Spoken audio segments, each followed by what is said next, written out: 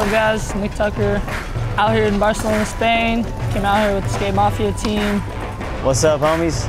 It's Wes, just uh, here over at Parallel, skating with uh, some of the Skate Mafia homies. Here with Nick, Smolik, BT, Nick Lamb, Laurel, and the other homies left. They're just chilling over at the Casa.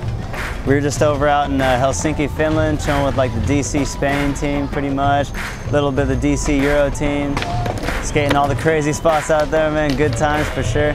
Chilling with all the homies. First we ended up in uh, Finland about a couple weeks ago.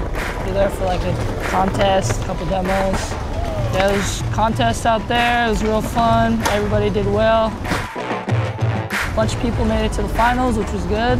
Uh, Smolik, Hobby did real good. Uh, Brandon Turner. Now we're in Barcelona. Skate some amazing spots. Skate it up, film for the new video.